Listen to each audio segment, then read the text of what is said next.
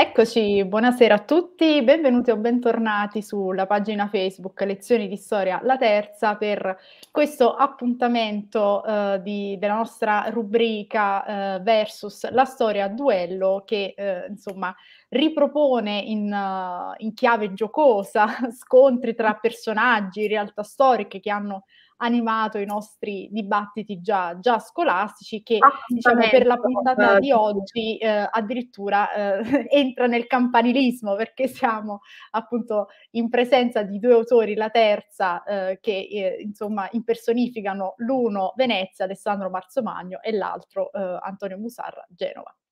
E ehm, la puntata appunto di oggi eh, riguarda proprio lo scontro tra queste due città marinare, eh, introduco eh, i relatori e poi eh, spiego velocemente le regole di questo gioco. Come dicevo, da un lato abbiamo Alessandro Marzomagno per Venezia, veneziano proprio di nascita, ma tende a sottolineare Melanese solo per lavoro, laureato appunto in storia proprio a Venezia, autore di libri di eh, ambito storico, fra cui ricordo una recentissima uscita, la terza, che ho anche qui accanto, Venezia, una storia di mare e di terra, uscita proprio pochissime settimane fa, e che comprende al suo interno anche proprio un capitolo sullo scontro con, con Genova che ho, ho, ovviamente letto per prepararmi a questa puntata. E, e, dall'altra parte abbiamo invece Antonio Musarra, lui genovese di nascita, eh, ricercatore in storia medievale all'Università Sapienza di Roma e eh, si occupa appunto di eh, storia medievale, storia marittima e navale del, del Medioevo. E, e, ricordo appunto, anche lui è un autore, la terza, una sua pubblicazione del 2020 incentrata proprio sullo scontro tra le due città marinare, il Grifo e il Leone, Genova e Venezia, in lotta per il Mediterraneo.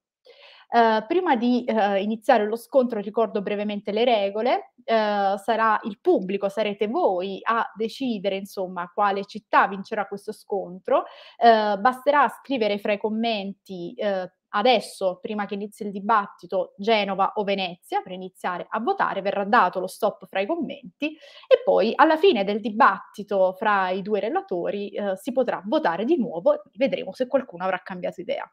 Anticipo brevemente le tre tematiche dei tre round, eh, ci concentreremo prima sulla questione flotta, commerci e poi arte. Quindi non rubo altro tempo ai relatori, e passo subito la parola al, magari do eh, diciamo il, eh, la, insomma, la, prima parola proprio Alessandro Marzomagno per Venezia, apriamo il primo round e concentriamoci quindi prima sulla flotta.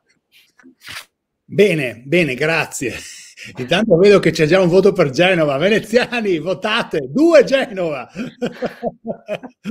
non vorremmo mica dopo Chioggia 1380, però meno male con Venezia. Bene, allora... Blu, eh? Lo schermo è rosso blu. Eh, insomma. è vero, questa è una preferenza. 1893, prima squadra d'Italia, Genoa Football Club e già ho, ho guadagnato punti. Tra l'altro, come qualcuno ha malignato, l'anno prossimo giocheremo tutte e due in B, ma insomma, vabbè, lasciamo perdere. No, tra l'altro devo dire Alessia che il, eh, il capitolo che io ho scritto nel mio libro su, su la, la, lotta tra Venezia e Genova è in buona parte stato scritto saccheggiando il libro Il Grifo e il Leone di Antonio Busarra e no perché eccolo lì eh, perché ovviamente devo molto a quanto lui, eh, a lui ha scritto e anche alle molte cose nuove soprattutto che ha introdotto vabbè dunque e, ehm, mh, cominciamo con uh, la flotta e, e, quindi la potenza navale e, e, io vorrei anche dire il luogo dove questa, voi un arsenale come il nostro non l'avete mai avuto. il luogo dove questa, dove questa, flotta veniva realizzata, cioè l'arsenale eh, di Venezia e anche il rapporto molto, molto importante con la montagna, perché mm, a me piacerebbe sottolineare questa cosa, che eh, il legname che arriva, io non so voi dove andavate a rubarlo il legname, noi lo tagliavamo nelle Dolomiti soprattutto. Le grandi montagne di Venezia, sì. e veniva, veniva, portato a Venezia facendolo fluitare lungo i fiumi, soprattutto lungo il Piave, che era il, eh, il percorso, è tuttora il percorso più breve, dalla, più breve dalla montagna al mare, sono 200 eh, chilometri. E quindi questo legname veniva tagliato eh, portato poi um, in un luogo a Perarolo del Cadore, in un grande lago artificiale, dove, venivano, eh, dove veniva assemblato e un raguseo fantastico cioè stiamo ricostruendo il Mediterraneo del Medioevo del Rinascimento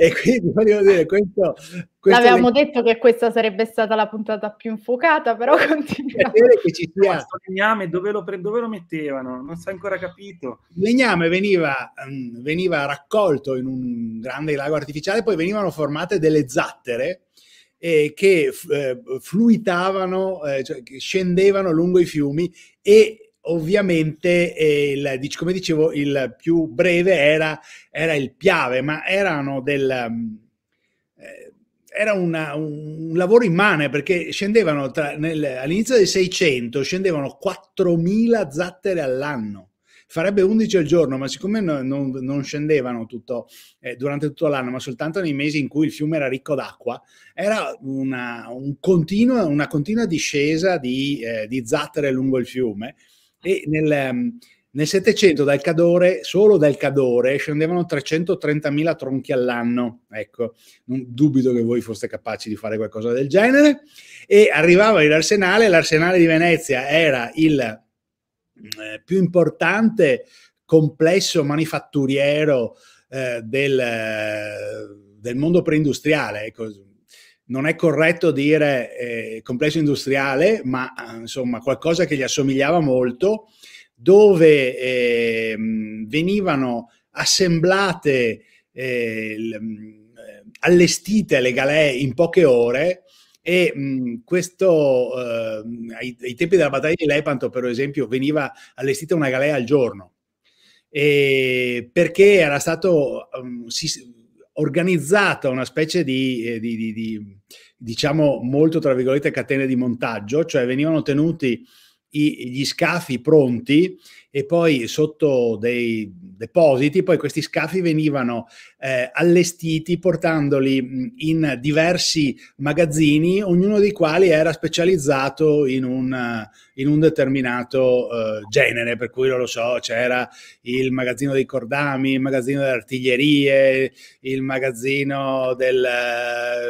Eh, poi, dove si, si, allestivano le varie parti, alla fine si, monta, si metteva l'albero, si eh, faceva, fa, si eh, allestiva, si dava alla galea il remaggio e dal, l'ultima cosa era il biscotto, cioè le provviste e la, eh, a quel punto la galea era pronta, ehm, saliva a bordo l'equipaggio e poteva uh, uh, prendere il mare.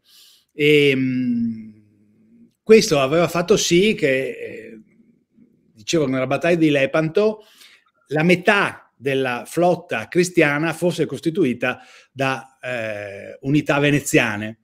Hanno combattuto a Lepanto dalla parte eh, cristiana 208 galee, 105 di queste 8 galee erano veneziane, più 6 galeazze, queste grandi eh, fortezze galleggianti che eh, eh, hanno avuto il compito di scompaginare eh, la flotta mh, ottomana che attaccava e mh, alte sul mare irte di artiglieria e quindi erano anche sostanzialmente imprendibili.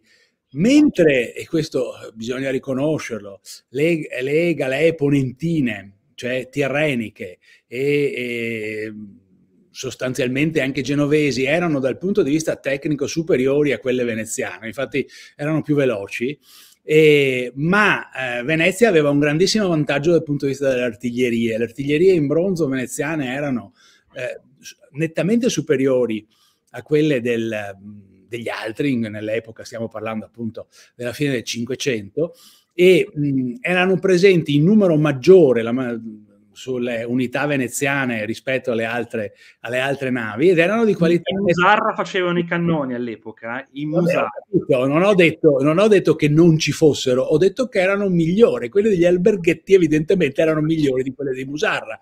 E gli artiglieri veneziani avevano una mira assolutamente superiore, tanto che parliamo dei Dardanelli, quindi un secolo dopo, ma i francesi erano sorpresi e dicevano che i tiravano con le artiglierie come fossero i moschetti.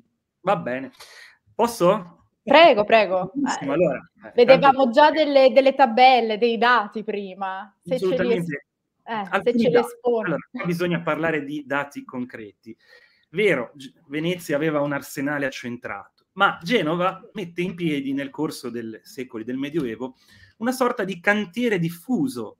Genova è tutt'uno con la Liguria e qua parliamo di una forza estremamente più importante, superiore rispetto a Venezia. Si può dire che ogni cantiere di ogni piccolo borgo delle riviere liguri producesse galee e naviglio di vario tipo, tant'è che Genova riesce a mettere in mare, come avevo mostrato in queste tabelle contenute nel, in fondo il mio, il grifo eh, e il leone, eh, un numero di galee nettamente, o comunque sempre superiore rispetto a quello di Venezia. Quindi è un sistema semplicemente diverso, forse più intelligente, eh, in quanto sfrutta le forze locali e soprattutto Genova ha un vantaggio rispetto a Venezia. I boschi ce li ha dietro casa, ce li ha immediatamente dietro casa, tant'è che il legname di vario tipo, dalla quercia al faggio agli, agli alti abeti per alberi antenne, era direttamente tirato a mare lungo le cosiddette tire che eh, portavano eh, immediatamente in acqua e da qui trasportato nei vari cantieri. Ma Genova ha qualcosa in più rispetto a Venezia. Abbiamo parlato di galee, di galeazze, io non parlerei di fortezze. Stiamo sempre parlando di eh, navi longe, come dicevano i romani. Genova rispetto a Venezia può mettere in cantiere le grandi naves commerciali. Eh, questo Venezia non lo può fare perché la sua acqua è bassa e le navi di grandi dimensioni si incagliano. Eh, Genova che a partire dal 400 comincia ad avere i tonnellaggi più importanti, più imponenti, con grandi naves con velatura mista, che riescono a compiere dei viaggi intercontinentali. È vero, anche le gallie veneziane raggiungono le Fiandre, l'Inghilterra, d'accordo, si specializzano in merci sottili in modo da concentrare il valore. Questo ne parliamo dopo, noi non abbiamo bisogno delle grandi navi.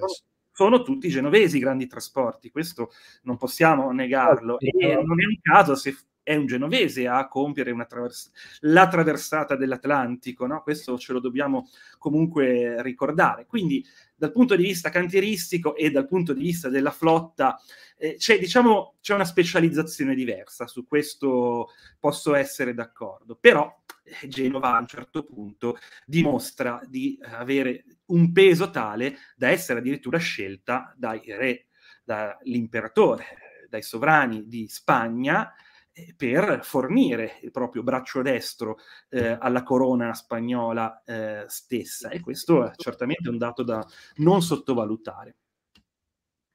Abbiamo finito il primo round, ma mi sa che su questo non c'è stata molto... Solo... no, tra l'altro siamo... Insomma, lei siete scappati? Eccolo. Andrea Moria. Meno male che si era detto che il questo era... tattico, il genovese è tattico, tutto lì. Eh, il genovese è tattico, voleva salvare le navi. Tra l'altro, diciamo, eh, dalla regia mi comunicano anche che siamo in un perfetto pareggio, quindi a, a riprova che tutto deve ancora essere, essere deciso. E ehm, insomma, nei vostri discorsi, devo dire molto convincenti, avete iniziato già a in qualche modo seminare la discussione sul, sul, commercio. E quindi, uh, oltre ad aprire chiaramente la discussione su questo, uh, faccio, insomma, pongo anche una mia personale curiosità da totale inesperta, leggendo appunto proprio le pagine di Marzo Magno del, del volume no? su, su, Venezia, il capitolo con, con Genova, mi ha molto interessato la questione sulla Cina, cioè perché appunto io da, magari dagli studi scolastici Uh, siamo tutti abituati a collegare direttamente a Marco Polo, al Milione, quindi a, a Venezia, uh, i viaggi verso la Cina, però insomma Marzolino dice qualcosa di, di, diverso in questo. Quindi ecco, in generale il commercio e poi se potete anche rispondere a questa mia curiosità, ovviamente anche coloro che ci ascoltano possono fare delle domande, possono fare delle domande. Allora, questa volta partiamo da, da Genova. Beh, allora, Ma questo Marco Polo, cosa dice Marco Polo? Cosa dice Marco Polo? Eh, dice che quando si reca in Cina trova dei genovesi. I genovesi sono semplicemente più taciturni, sono semplicemente più riservati, conoscono le armi del commercio e sanno che è bene non divulgare eccessivamente i segreti le, e quanto hanno appreso nei loro lunghi viaggi, che sicuramente sono a più ampli di quelli dei veneziani, perché si dispiegano letteralmente da un capo all'altro del mondo conosciuto. Abbiamo meno informazioni, su questo non c'è eh, alcun dubbio. E la fortuna del milione, come abbiamo letto eh, dal nostro Giuseppe Lo Sapio, addirittura letto da Cristoforo eh, Colombo, è una fortuna innegabile, ma il milione non sarebbe esistito se i genovesi non avessero recluso il povero Marco nelle proprie prigioni. Magari di questo poi ne parleremo.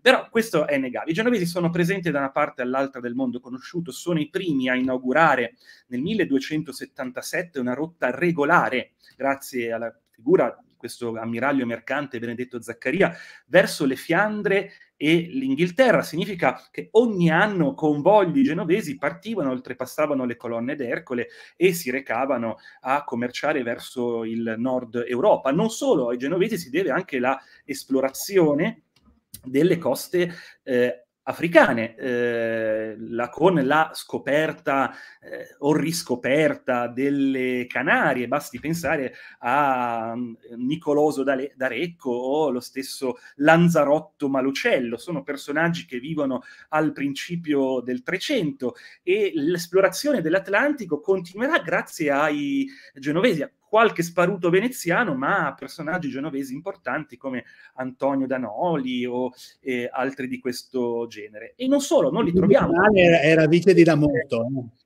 Oltre le colonne d'Ercole, in Inghilterra, nelle Fiandre, dove ancora oggi si può osservare a Bruges la meravigliosa Sayal, eh, ma li troviamo in tutta la penisola iberica, in Marocco, in Tunisi, eh, Antonio Malfante che raggiunge le, le fonti del, dell'oro africano, e poi in tutto l'Oriente, dove realmente c'è una corsa, una concorrenza spietata con Venezia che causerà del resto nel corso dell'età medievale le famose guerre veneto-genovesi, le prime due nel 200 concentrate diciamo sull'area della Terra Santa e le altre due eh, sviluppatesi invece sulla rotta che portava a Costantinopoli e di lì al Mar Nero. Ricordiamoci che Venezia non possiede una città genovese di fronte al Corno d'Oro.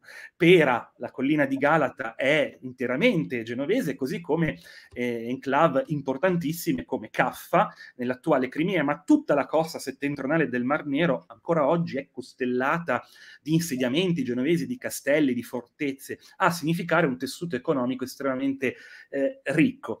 E che cosa può dire Venezia di questo? Venezia sì ha qualche commercio con uh, queste zone, ma certamente forse più sviluppato verso l'Egitto, possiamo dire, dove peraltro sono presenti anche i genovesi, ma non possiamo dire che abbia una diramazione eh, tale. Certamente c'è una specializzazione, questo l'abbiamo già detto prima e lo ribadiamo. I genovesi si specializzano nelle cosiddette merci pesanti, esatto. cioè le merci che eh, occupano tanto spazio, ma che sono alla base delle filiere eh, produttive in moltissimi settori e diventano monopolisti eh, di queste eh, filiere, dall'allume al mastice vi dicendo.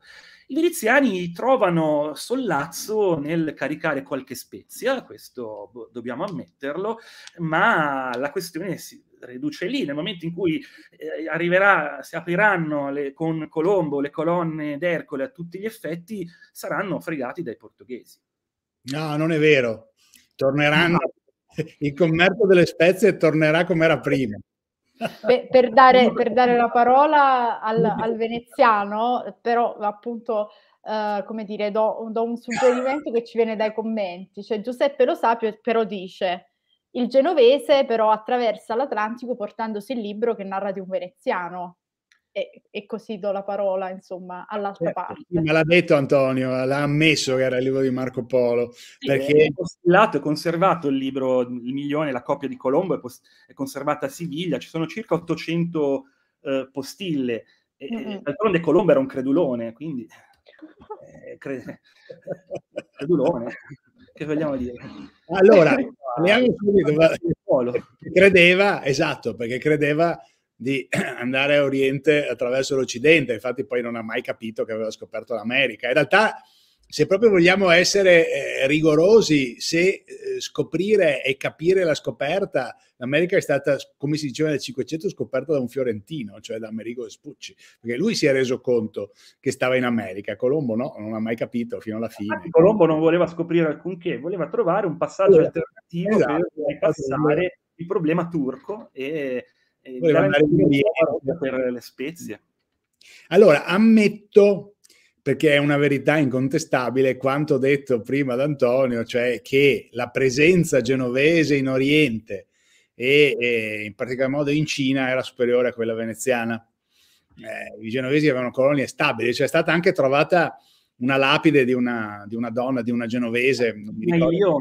Eh, infatti. Bellissima quella cosa. Quindi presupponeva l'esistenza di una comunità stabile genovese e il fatto che per i veneziani fosse più raro andare in Cina è anche testimoniato dal, eh, dal soprannome familiare del cataio, cioè della mm. Cina perché qualche famiglia che appunto trovava fortuna poi eh, nei commerci con la Cina assumeva questo soprannome del cataio perché era un fatto, un fatto eccezionale. Ed è vero quello che ha detto Antonio, che eh, i genovesi stavano in silenzio, tuttora così, no? i genovesi mugugnano in silenzio, e i, i, veneziani invece che sono più cordiali e alla fine anche più simpatici, diciamocelo, parlavano e quindi ciacolavano e quindi scrivevano e, e, e quindi Marco Polo ha scritto questo libro. Ora non so sì, a posteriori noi possiamo ringraziare il fatto che Marco Polo fosse stato prigioniero.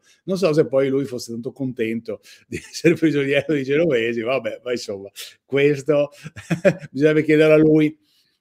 Vero che c'erano specializzazioni diverse, vero anche che ehm, i, i, commerci primordiali, quelli che hanno permesso lo sviluppo eh, di Genova e di Venezia nell'alto medioevo, erano piuttosto simili, perché erano sale e schiavi. Cerchiamo di non dimenticarci, cosa che invece spesso viene fatta in maniera non, in, cioè non casualmente, non dimentichiamoci che sia Venezia sia Genova si sono arricchite commerciando schiavi, oltre che sale. Ecco. E poi questo commercio di, eh, di carne umana è venuto in termini relativi a pesare sempre meno, anche se in termini assoluti in realtà è rimasto piuttosto alto anche nei secoli successivi, anche nel Cinquecento senza dubbio. E, mm, e poi c'è stata questa specie, specializzazione, mentre i genovesi trasportavano pietrame, pietrisco, rocce di vario genere eh, in queste loro grandi navi che per noi erano assolutamente inutili, noi portavamo merci sottili, cioè molto più preziose. Le spezie, Venezia a un certo punto era monopolista, eh, prima della circunnavigazione dell'Africa era monopolista del commercio delle spezie, che erano preziosissime perché non dobbiamo pensare eh, oggi no, che si va al supermercato e si trova la cannella. Beh, insomma, non era così, la cannella era un bene, la cannella, la noce moscata, erano dei beni preziosissimi e costosissimi che si mettevano dappertutto, soprattutto perché erano un simbolo sociale, non erano, certamente non era una questione di gusto eh, o, o di, sapore, di sapore dei cibi.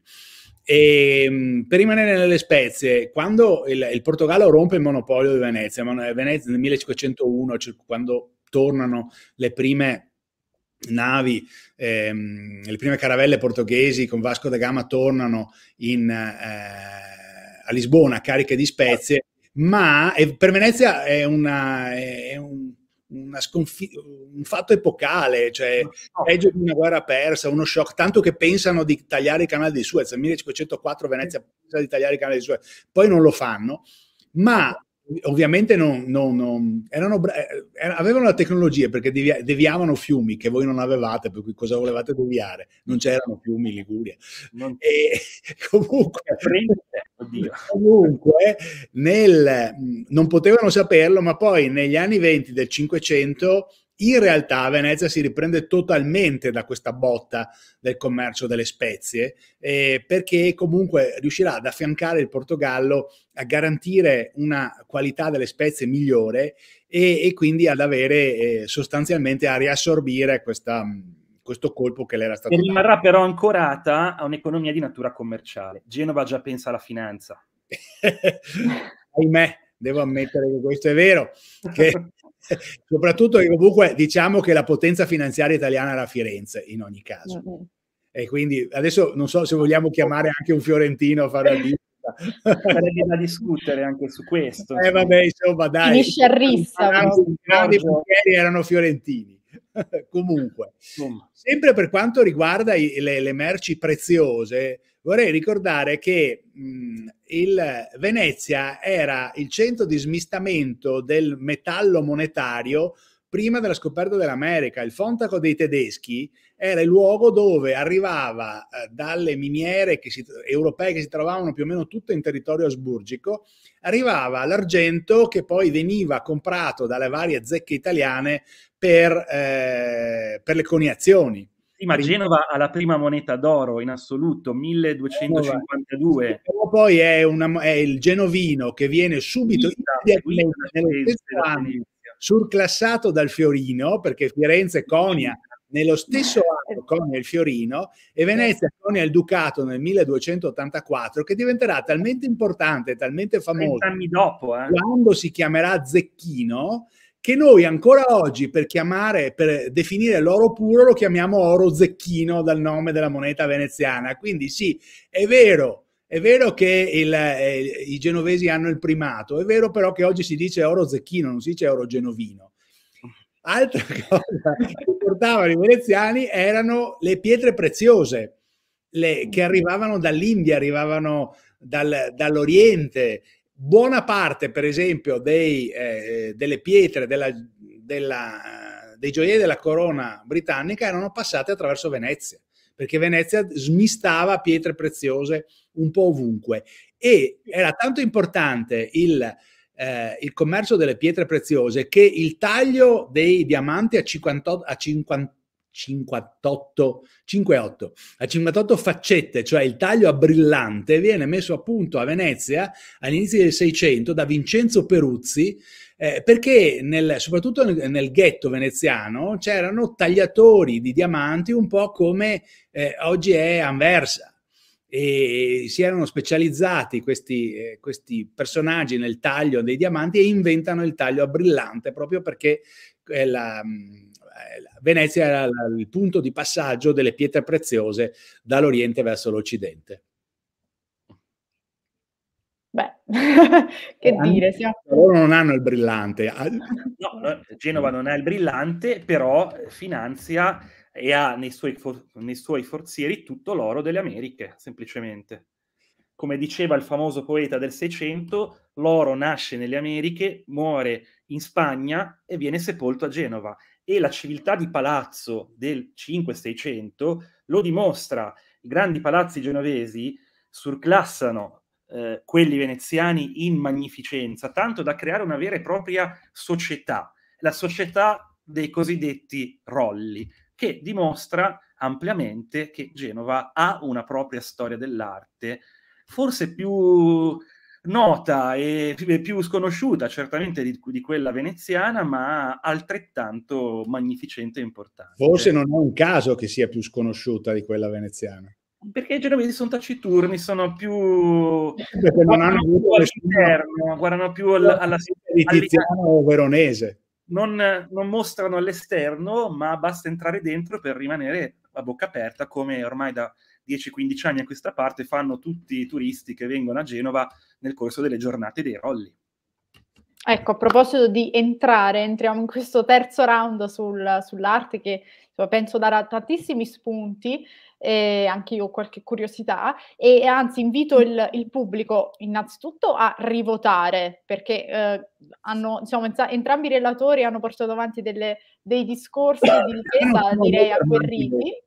Grifus ut has fangit, sic hostes janua frangit. Era il grido di guerra dell'esercito genovese. State passando alla eh, Marzo Magno che corrompe il pubblico femminile coi diamanti, qui anche la... Comunque, eh, quindi eh, eh, dicevo, invito il pubblico eventualmente anche a fare delle domande. Quindi entriamo uh, nel, nel, terzo round, quello insomma mondo artistico estetico, e diamo questa volta la precedenza a Venezia, che penso sul piano artistico. Ehm, lo stesso Marzo Magno ha scritto poi, sempre per la terza, l'inventore dei libri Aldo Manuzio, quindi anche in questo un bel primato ce l'ha a Venezia. Beh, vabbè, lì, lì direi che non si, si gioca facile. Eh, no, no, no, no, tra poco vedrete. Eh sì, adesso salta fuori, salta fuori che la capitale editoriale dell'Europa del 500 non era Venezia, ma era Genova. Dai, dai. Eh, ora ve lo dico, ora ve lo dico. Vabbè, partiamo prima con Venezia. Guarda, non ho neanche voluto parlare di editoria, perché lì proprio non c'è storia. Dai, vai, parla, poi, poi dico. Allora, comunque, questa, io adesso vi sto parlando da Milano, perché io giro tra Venezia e Milano. Questa mattina sono stato a Bergamo, eh, città che conosco poco, ahimè, a un certo punto sono entrato nella chiesa del, del, di Santo, mi ricordo se Spirito Santo, Santo Spirito, Santo Spirito mi sembra. Beh, dentro c'è una formidabile, incredibile dipinto di Lorenzo Lotto del 1521, un quadro meraviglioso con dei colori stupendi, è, è davvero un, è un quadro che non conoscevo, ma è stato restaurato di recente, quindi ha una luce e dei colori meravigliosi. È del 1521. Beh, questo grande maestro del Cinquecento, nato, Lorenzo Lotto, nato a Venezia, poveraccio, alla fine è stato costretto ad andarsene perché si trovava nella città di Tiziano, di Giorgione, di Tintoretto, di Veronese e quindi nonostante fosse bravissimo non riusciva ad esprimersi ed è dovuto emigrare, è dovuto andarsene. Ecco, questo per dire il livello della pittura veneziana del Cinquecento. A Venezia, Venezia è la città che diffonde il colore, l'uso del, del, dei colori a olio che sono stati portati dalle Fiandre, i primi a usare l'olio al posto della, eh, del tuoro d'uovo per fissare la terra sono stati gli olandesi e Antonello da Messina, che era messinese ovviamente, ma che viene a Venezia negli anni 80 del 400, che dipinge a Venezia, mostra questa nuova tecnica e anche eh, Giovanni Bellini aveva preso questa nuova tecnica del, dell'utilizzo eh, dell'olio per, per, per mescolare, da mescolare alle terre e questo rivoluziona completamente la pittura, perché mentre la pittura a tempera eh, si asciuga subito e quindi deve essere immediatamente definita, la pittura a olio ci mette, eh, ci mette molto ad asciugare, quindi è possibile sfumare cosa che con la tempera non è possibile. Si, è, mm, è, possibile dare eh, tonalità diverse al colore, quindi per esempio migliorare la qualità degli incarnati e, e quindi cambia completamente il modo di, di dipingere. E, e, quella che avviene agli inizi del, eh, del 500 a Venezia è un'autentica rivoluzione del colore che poi influenzerà la pittura di tutta Europa.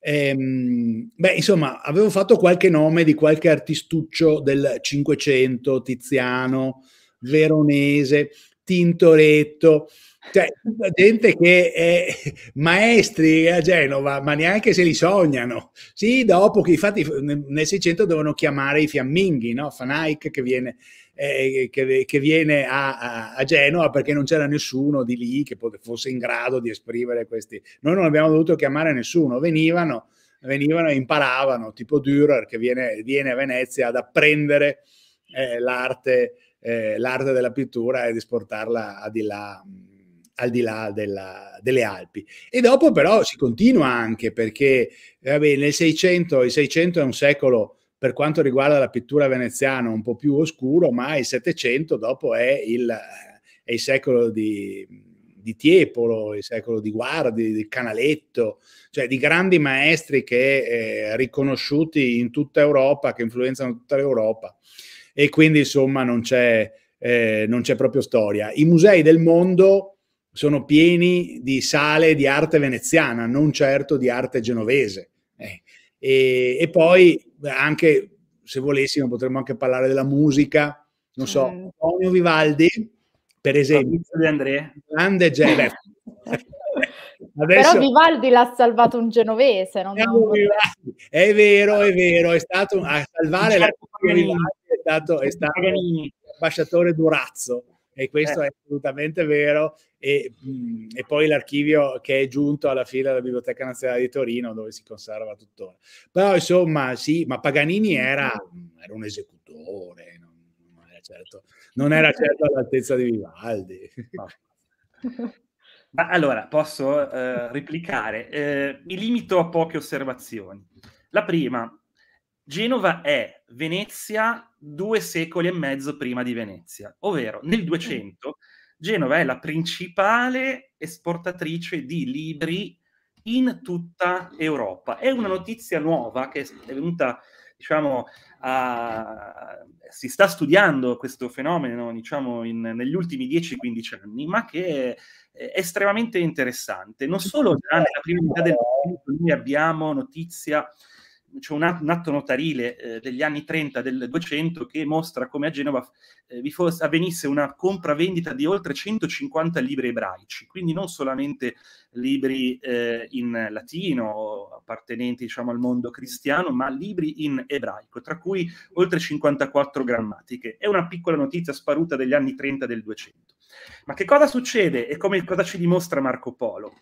Che nel momento in cui Genova vince i Pisani e la Meloria, i Pisani stessi costretti tra le mura genovesi a rimanere in una sorta di semi-libertà, mettono insieme una sorta di atelier eh, partecipato anche dai genovesi presenti, che sono soprattutto committenti di volumi eh, gli ordini mendicanti, domenicani, francescani, le grandi famiglie cittadine, eh, commissionano a questo atelier chiamato appunto Pisano Genovese molteplici manoscritti. Addirittura giungono dalla Germania per farsi commissionare a Genova manoscritti di vario tipo. Si va dai manoscritti di natura liturgica sino alle storie dei santi, sino ai grandi manoscritti attraverso i quali noi conosciamo il ciclo bretone, le vicende di Re Artù e tutto quello che attiene a questo mondo eccezionale. Lo stesso Marco Polo trova nelle prigioni genovesi un certo rustichello da Pisa che fa da copista o da interprete del suo, del suo racconto. Ecco, questi manoscritti stanno venendo alla luce in questi ultimi anni, si stanno censendo e sono veramente decine e decine sparsi in tutta Europa. E non ci stupiamo di questo, Genova è nel 200 il principale foyer trobadorico d'Italia. I poeti occitani e i poeti genovesi che cantano in lingua occitana sono, quelli genovesi sono tra i più eh, importanti e prolifici Semplicemente questa notizia non è ancora penetrata nei nostri manuali scolastici che si concentrano magari sulla scuola siciliana o su altre, eh, altre cose, ma eh, è anche questa una notizia importante da dare, da divulgare e che sarà sempre più conosciuta perché si stanno effettuando studi anche su questo. Salto avanti di qualche secolo, nel 1622 un certo Pieter Paul eh, Rubens pubblicava il suo Palazzi di Genova, frutto di una serie di visite che Rubens stesso aveva fatto alla città come, assieme al duca Vincenzo I di Gonzaga no? e lui entusiasta della civiltà di palazzo genovese di cui parlavo appunto prima ci regala una serie di riproduzioni di vedute di questi palazzi meravigli- architettonicamente meravigliosi che avrà uno, uh, un exploit incredibile nei decenni successivi, influenzando il gusto, eh, gusto che potremmo definire barocco, eh, di molta architettura posteriore, soprattutto di architettura romana. Ecco, questo link, questo legame nuovamente è una novità che è stata studiata negli ultimi, negli ultimi anni, soprattutto in riferimento a quel fenomeno di cui parlavo prima, i cosiddetti rolli. Che cosa sono eh, i rolli? I rolli sono dei elenchi, ruoli, ruolini d'equipaggio, no? si diceva una volta, degli elenchi in cui i palazzi più magnificenti della città erano iscritti per poter partecipare a una sorta di estrazione pubblica eh, e ospitare così addirittura re, sovrani, papi, eh, imperatori, principi e tutta la crème eh, d'Europa. Cioè erano talmente magnificenti al proprio interno, oltre che, come dice, come mostra Rubens, meravigliosi dal punto di vista architettonico, da poter fungere, da poter sostituire la presenza, la mancanza, se vogliamo così, di una vera e propria reggia. Ecco, questa società eh, dei rolli, che è stata eh, studiata proprio come fenomeno eh, sociale, presente anche in, in, in altre città, ma non in maniera così eh, così vistosa, caratterizza proprio il Seicento genovese, caratterizza la grande arte del Seicento genovese. Non è vero che non vi siano eh, grandi artisti fra 5 e 600. Basti pensare a Bernardo Strozzi, a Domenico Piola, a Domen- alla Fiasella, eh, e ce ne sono molti altri, magari meno noti, meno inflazionati ecco, dalle mode che ci hanno portato a soprattutto a guardare al, alla pittura veneziana piuttosto che a quella fiorentina, ma in piena riscoperta. Se qualcuno di voi vuole dire qualcosa di nuovo sulla storia dell'arte, non deve andare a Venezia, deve andare a Genova. Sì, sì, beh, campa a cavallo che la riscoperta cresce. comunque, eh, comunque. C'è un grande interesse del mondo dell'arte sulla, sulla Genova di questo periodo, è una riscoperta lenta, ma che darà i propri frutti. Ne sono sì, convinto. Un paio di generazioni. Comunque, la, eh, tu mi stai contrapponendo i libri eh, manoscritti ai libri a stampa. Ovviamente io avevo parlato del fatto che Venezia è indubitabilmente nella prima metà del Cinquecento la capitale dell'editoria a stampa di tutta Europa. È la stessa. A Venezia, si stampava la metà dei libri che si stampavano nell'intera Europa. Poi, scusa, ne approfitto. Guarda qua, Lampadario di Murano. Siete mai stati in grado di fare qualcosa del genere voi a Genova? Questo è un lampadario di Murano. Quando... Quindi adesso purtroppo a causa della crisi probabilmente chiuderà tutto, ma insomma non siete mai stati in grado di fare qualcosa del genere. Ma non c'era l'interesse a farlo, questo è, è, è diverso. Però eravamo più bravi noi, quindi c'è poco da dire. Ah, vabbè, a fare un hanno po' di vetro Hanno anche rubato i, i, francesi, chissà che non siano stati aiutati da qualche genovese, ci hanno anche rubato il segreto del, del fare gli specchi di cristallo con un'operazione di spionaggio a metà 600 degna di James Bond, hanno portato dei vetrai muranesi a Parigi, poi eh, gli inquisitori di Stato hanno mandato dei killer ad ammazzare i vetrai muranesi che sono tornati a Venezia, ma ormai i francesi avevano imparato a fare, a fare gli specchi, eh, hanno imparato da noi, mica da voi. Eh, poi se vogliamo buttarla sulla musica, io citavo prima Fabrizio De André, ma è chiaro che c'è una scuola di cantautori genovesi che non mi sembra possa ripetersi a, a, Venezia, così come c'è una scuola di grandi comici genovesi, non so se avete notato, ma ce ne sono moltissimi in giro. C'è anche, c'è anche uno che ha fatto parlare di sé per vicende non proprio legate al teatro, eh? oppure ah, molto teatrali, ma insomma... vogliamo ecco. dirla tutta, insomma, il santo patrono di Genova, San Giovanni Battista, è un tantino più in alto di San Marco, eh? No, perché San Marco è evangelista, eh? Giovanni Battista non è evangelista. Sì, ma lui è evangelista e il, eh, il, Vangelo di San Marco è stato dettato da Pietro, quindi capirai. San Marco, il Vangelo di Marco è il Vangelo di Pietro. Eh, poi all'inizio si parlava anche della squadra di calcio, ma non, non mi addentrerei in questi sì, argomenti, però, altrimenti... A Venezia giocano a calcio. riconosco, riconosco, il primato sul fatto che la squadra, la, il Genoa è la, la, più antica squadra italiana. Non è che in questo momento le, ci siano molte glorie da una parte e dall'altra. Ha una storia gloriosa. Come ce l'ha la Sampdoria, eh? Come ce l'ha la Sampdoria. No, adesso vabbè, la Sampdoria. Eh, eh, no, ci, ci, inoltriamo in terreni pericolosissimi, scivolosissimi. Allora, intanto attendiamo dalla regia l'aggiornamento del, della votazione. Io eh, vi ringrazio perché, insomma, a, oltre ad aver imparato tantissime cose nuove, mi sono anche molto divertita. Avevo previsto, per chiudere questa puntata, di leggere appunto giusto due righe che eh, Marzo Magno nel suo libro, eh, proprio all'inizio del capitolo su Genova, ci, ci regala. Ma eh, tra i commenti ho trovato un'altra chiusura che secondo me è ancora più bella. Mm. Eh, appunto, siamo a pagina 98 eh, del, di Venezia, del, della Venezia di Marzo Magno, e c'è scritto: Si fossero unite, non ce ne sarebbe stato per nessuno.